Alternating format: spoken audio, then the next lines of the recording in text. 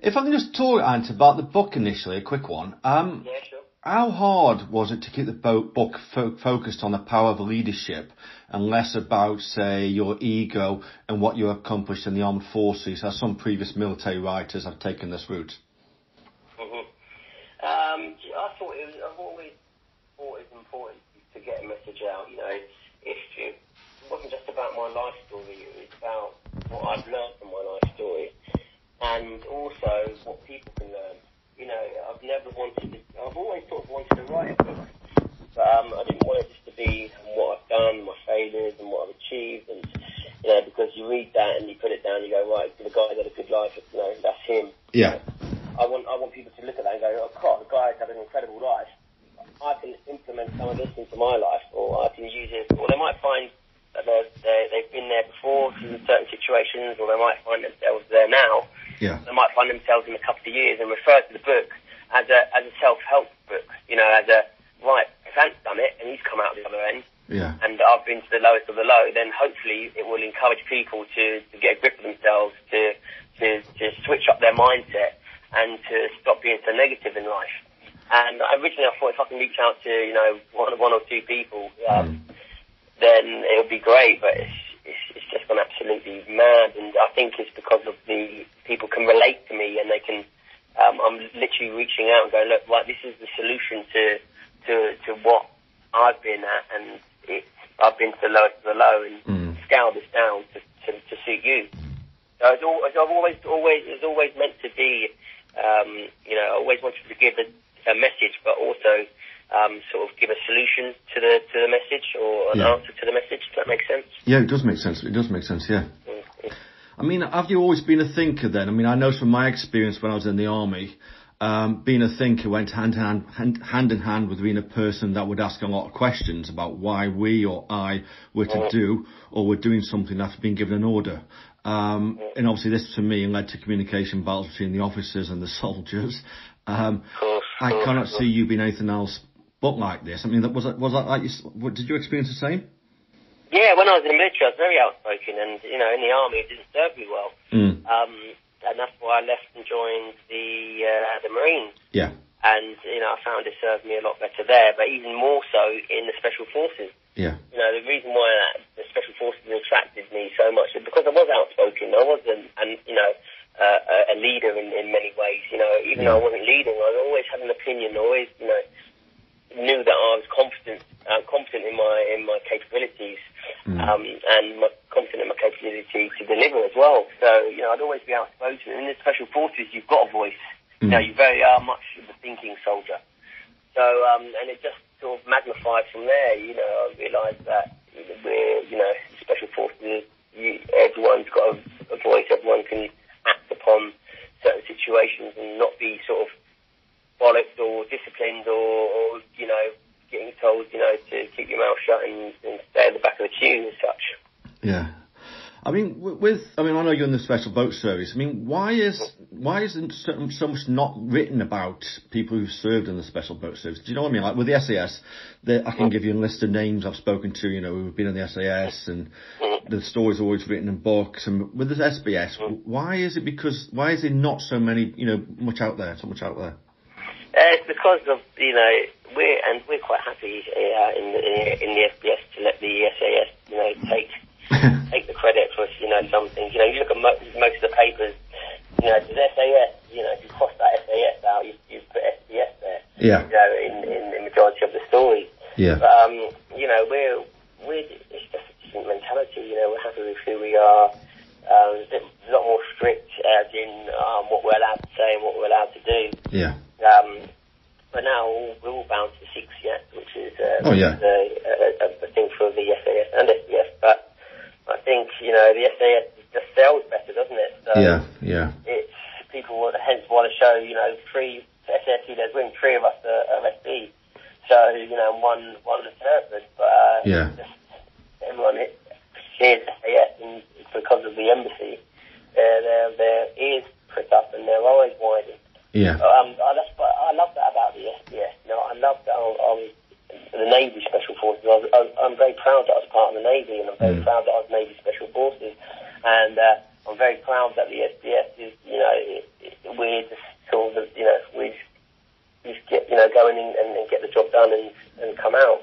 Mm. You know, I, I love that side of things. Um, but it's just, yeah, I just, I think it's the whole embassy thing, and uh, you know, a lot of people uh, don't really know what the SBS is about. Mm. Therefore, you know, the SBS, the SBS massively overshadows it, which, uh, you know, it, I think it's not, it's not a bad thing at all. Yeah, because I know when I was serving, you, you couldn't find anything on the SBS. It was all uh, obviously Right. the, the army. It was all obviously Hereford this, Hereford that. You know. Yeah, of course, of course. but I know when they open No, it up. it's- and we don't get on with it. You know, it, it's great, and uh, it's one of those where if you look at it as well, you know, you've got the the SBS, the 98 percent of the SBS are made up of Marines. Yeah, yeah, So you know, we're we've all come from the same, you know, the hardest infantry training in the world and the longest infantry training in the world. We're all, you know, our snipers, uh, recce You Yeah. know, we've been selected from what two and a half thousand of, of, that are in the Marines right. you know, okay, so yeah. you know, we, when we pass selection, we've got nothing to prove. We, we're all elite soldiers anyway. Whereas Mm. the army and Hereford, they recruit off of what 150,000. yeah, yeah, There's yeah, all yeah. different cap badges. Yeah, you know, yeah. everyone's got something to prove. You know, you might have a guy that's been in the Royal Logistic Corps that has just happened to pass a hard course, you know, a six month course of selection. Yeah, They go in and they're not as experienced, so they've got something to prove, and you know, and, uh, these cap badges are always fighting against each other, even in the, uh, in, in the SAS yeah, you know, you've got um, if, if, you weren't power if you weren't parachute regiment, then you know, you, you, know, you're at the bottom of, of the pile as soon as you pass, and it's just, just Totally. mentality and, uh, totally. and uh, you know, but healthy competition. Yeah, no, I agree because I know it was very, very power orientated, Hereford, but anyway, it's a different story. Um, um, I'm, I'm not going to ask you about, you know, obviously on the TV, you've been asked many, many times about when the, your words were taken out of context about you saying, which allegedly you, you did say, but it was twisted um, by the media by saying about along the lines of taking a life can feel a bit godlike. Yeah, But a target is a target, whether that be on the ranges or in a war zone. A soldier is a soldier. His weapon is her, is her, his or her best friend. From having, from the time I spent cleaning my rifle more times than firing it. Um, would you say that firing the weapon then just became second nature? Um, like say driving a car? it is is is, is um, when it's amazing because when when when you especially when I was point man and I'd go into combat Yeah, literally bullets would be flying over your head. Your body's that much in, in tune with itself. It's that much in harmony with itself. Now every organ and every emotion's working at its fullest capability, yeah, and it's working in perfect synchronicity, you know, in perfect sync with each other. yeah, And when your body, it's only for a couple of seconds, and when your body feels like that, it almost feels like everything slows down. mm, Like, a, like in, a, in a car crash, everything slows down, and it almost feels as if you can control time. You know, it almost feels that I've got the, I can, I can- you know, I'm counting in milliseconds, and you know, I can see in listeners working up right towards me, bang, bang, you know, do what you need to do, mm, and being able, and having that feeling, and being able to control time or, or, being in that moment, that's the closest thing that I can imagine being godlike. mm, So, um, you know, actually taking a life, it, it felt it felt like nothing. yeah, You know, it's my job. I went in there. I didn't. It wasn't personal. I never looked anyone in the eye. Mm. Centre of the chest, in the in the head. Boom, boom, boom. You know, right. What do I need to do to get the job done? yeah, Job's done. You know, I'm, uh, I don't think about it. I don't dwell on it. no, And you know, I think nothing of it. So, you know, killing someone actually feels like nothing. Mm. But the the whole process of being in that moment, for me, I can imagine it being able to, I can imagine it to being the closest thing to being godlike. yeah. Yeah. Okay. Um, the military is a family, and I know that is why a great number has joined up to get that family ethos, as quite a few didn't have that growing up, like myself. Sure. Um, Yeah. so, but once you leave the confines of the military, and so when I was medically discharged in 2010, I was left high and dry and left to my own devices. If it was not for my wife and daughter, I don't think I'd be here talking to you now. Um, Yeah. But thanks to a lot of the military charities, a lot has been done, was done for myself and to help veterans. But why don't you think the military themselves are doing enough to educate within that life, within the life, that, that in the real world, it is tough once you leave? Yeah, because you're no longer you're no longer a benefit them. You're no longer you know an interest to them. You know, Mm. you've voiced interest that you that you want to leave. Mm. The moment you hand in your chit, you, you, you, you trust me, you go on your resettlement pa- patches, but they don't care. Yeah. They're focused on the operators, they're focused on the daughters, they're focused on on the people that want to be there, that are, you know, where are we moving on next. You know, that whole machine, that that monster doesn't stop from operating. So yeah. you're just this, you know, you're just a broken part now in their eyes that you know you're just waiting to get rid of and, and to be replaced with a new part. Um, so you know, it, it's it's one of those where uh, I've done the same. You know, but I thought I'd be absolutely fine. I left and I was like, yeah, but it's, it's, it doesn't matter if you it doesn't matter if you if you if you've got PTSD, if you've been injured, mm. if you're absolutely fine. Like with me, I'm absolutely fine. But you're always going to struggle with that transition because mm. they're two different worlds. The military is a different world to society.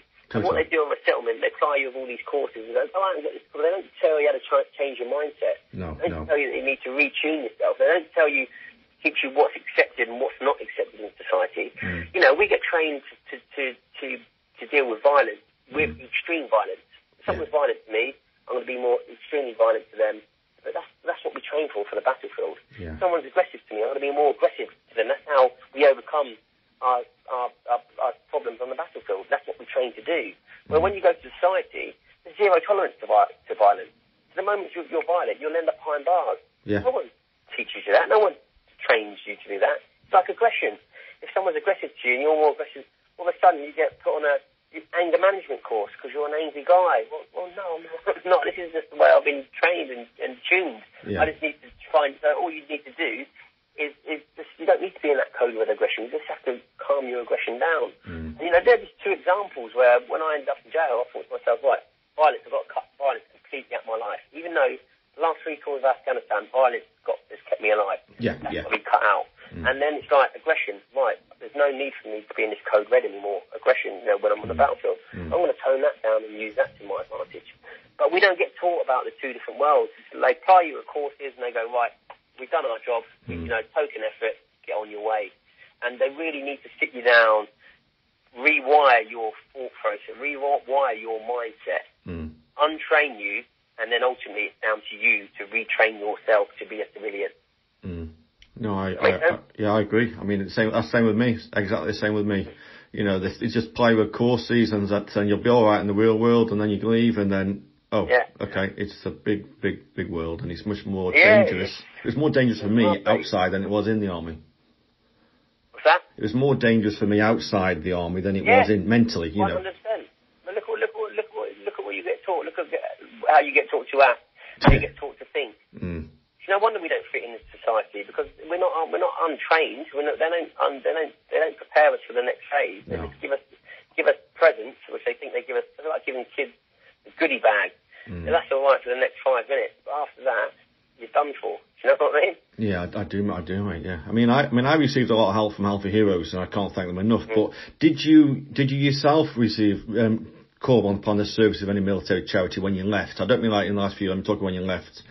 Yeah, no, um, I went to SSAFA. That's why I'm doing this Yeah. uh, this charity, uh, this Ant Middleton Fund. I saw that. Yeah, um, yeah.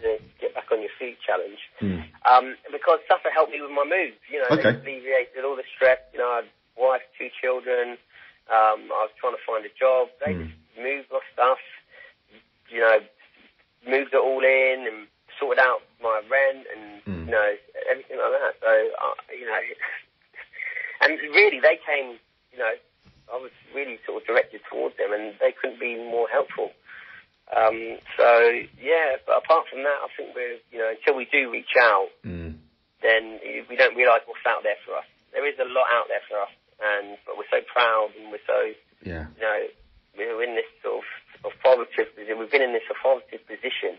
That's what it is. But it takes a in very- in a authoritative position for all these years, and all of a sudden we come out Mm. and you've got some spotty guy behind a computer tapping, tapping you on the chest, telling you what to do, and you're like, whoa. You know, there's nothing, you know, and it's just like, you know, we're not used to it. We can't get our heads around it. Yeah. So uh, that's coaching. Do you know what? We need, you like, like we've had in life, like through the military. When you join the military, you get an instructor, you go there, you get a corporal, you get a sergeant, you get coached and mentored through the military. Yeah. Okay, it's no different going into society. Mm. You need to be coached and mentored until you until that transition works, and whether that's a year, two years, three years, you know. But we haven't got that. We have to do our coaching and our mentoring by ourselves into a whole new world and rewire our brains, re- rewire the way we think and the way we act. Mm. Um, then you've got the stresses of, of houses, bills, council tax. It's just too much, mate. Yeah. Too yeah. much. So No, your brain does go into haywire and it does malfunction, and then you end up in, in a bad situation, either with PTSD, uh, health, mental health issues, Mm. in prison, uh, or just just you know the where streets. the family breaks down and where you you know where it ends up people taking their lives. Okay. I mean, but it takes a brave person to ask for help, doesn't it? You know, really. Yeah, oh, mean, massively. I mean, you are, you obviously, without being just being rude, you are like the, you know, like um, an, a proper action man. You know what I mean? You've, what you've done. But for you to want or to seek help when you're left, it takes a brave person. If you can do it, anyone can do it. Does that make sense? That's the message I'm trying to get across. You know, like I'm not saying you know pull your guts out and you know get on your knees. I'm just saying just reach out, see what's there. Because actually you've earned it. You deserve it. People Yeah. couldn't. People out there that actually want, you know, they want to open up your hand and, and go right. Listen, mm. this isn't a favour. This isn't. This is. This is what you're, you're, you're owed. This is what you deserve to do. And you know what? I'm going to give you the foot up for that. Mm. Here you go, buddy. Boom. Get onto that next ledge. Right, done. Well, thanks very much, mate. Yeah, don't worry about it. You deserve it. You know, but we think it's like, oh, on your knees begging and can I have help? No, it's not like that. You've mm. got to think about what you've done to this country. You know, people that are out there actually, this why these charities exist because they could, they, they want to give back, mate. They want to go, thank you. And you know what? That trans, we've got to take it because actually we don't do that enough. We don't pat ourselves on the back enough and go, do you know what? I don't, I'm not being big-headed on it, but yeah, I do deserve it. Mm. You know what I mean? Yeah, I do. It's, I do. it's uh, and, and and we do. And then once you know, after a couple of years, like myself, I'm in a position where I can give back. Yeah. That's exactly what we're doing. That's what we need to do: look after each other and have that Yeah. domino effect, and almost you get get yourself right and back on your feet, so you can be in a position to give back. Yeah. That makes sense. Yeah, it does make sense. It makes perfect sense. Mm-hmm. Um, if if I could ask about Right, your. can we make this the last question, sorry? Uh, yeah. Okay. I'm sorry. I thought I had half an hour. I could ask so many questions. It's okay. Oh, sorry. Um, and it, well, it's, it's just two questions rolled into one, if that makes any sense. Yeah, um, Okay, mate. Um, they they obviously didn't advertise for the role on the TV about special forces operative wanted for the exciting new TV show. How did you No. get the role? um, basically, the special forces community, as you know, Yeah. is so small. Mm. um, that we heard that Channel 4 were poking their nose in and wanted to do a special forces selection. Mm. And it really just fell on my lap. You know, one phone call led to another, which led to me taking this opportunity. Mm. You know, was literally just a phone my pals called me over and they're looking at, do you want to be an instructor? And I'm like, yeah, yeah, um, let's, have, let's have a chat with them. Mm. And, um, yeah, there was a, a handful of us. And, um, when we got the call, I, I went and had an interview, and it was just an opportunity that came across my lap, and I seized it, and I'm I'm here today. And, and with and with the tour that starts off in Cardiff, this is the last question then. Yeah, very, um, very first of all, this, yeah. yeah, will will those that have read the book get to experience stuff that you've not mentioned in the book? Yes, yes, definitely, yeah. There's a, there's a, you know, I'll go into more detail about my life, and uh, I'll go into a, a few uh, few situations that I've been in um, whilst in Afghanistan as well, and how I learnt from them. Um, so yeah, and I also go into another coaching mechanism about fear. Okay. So yeah, it's definitely different to the book. Okay, cool. I um I'm I'm hoping to come along to so I can do the review for the for the night. So Brilliant, mate. Well, let me know, buddy, and I'll get you a ticket and have you backstage. yeah, yeah. If you don't mind, mate. Yeah. Who do I? I'll, Yeah. Shall I speak to Emma or? Yeah, speak to Emma, mate, and uh, I'll get you. I'll get you a ticket, and uh, if you can make it, then uh, Yeah, definitely. Yeah, yeah, um, definitely. I've got one behind the counter for you, and we can get that sorted for you. All right, mate. Nice one. Thanks, Ant. Thank you. No worries, buddy. Nice one, mate. Thank you. Thank you. Bye.